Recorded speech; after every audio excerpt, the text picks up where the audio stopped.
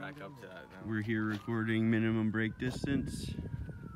We have 20 feet marked off right here.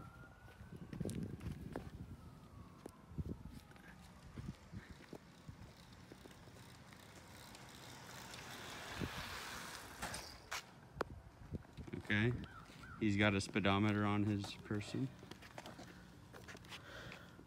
It shows max speed of 26.5 kilometers an hour. So here we have the turning radius test. Same distance measured out, 20 feet.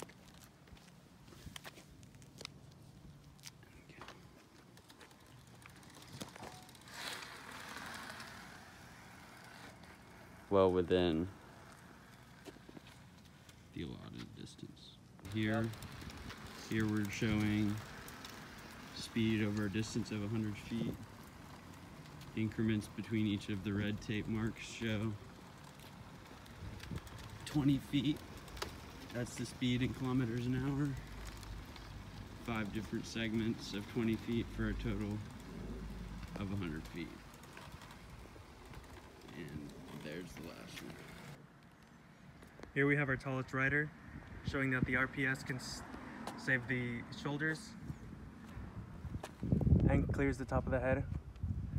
Our additional safety feature includes gloves that protect the rider from contacting the wheels.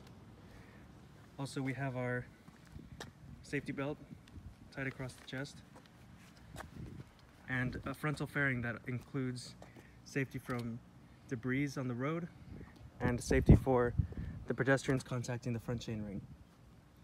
Unfortunately, due to delays in shipping, we don't have the frontal fairing right now, but we'll have it in time for competition. So this video is describing all the precautionary safety measures that we took throughout the manufacturing process. Each of the things that we used to help us uh, prevent safety hazards aren't available to us right now because they are still located in the machine shops that we used. But basically, throughout the welding process, we were able to use um, welding masks to avoid direct eye contact with the welds. And whenever all these individual tubes were bent and cut, we were able to use clear safety goggles and gloves to avoid any um, hazards occurring from metal shards or sparks coming off of the uh, the saws whenever we cut them. We also cut the boom to account for our shortest rider, our female riders, and whenever those cuts were made, we also used the same safety goggles and gloves.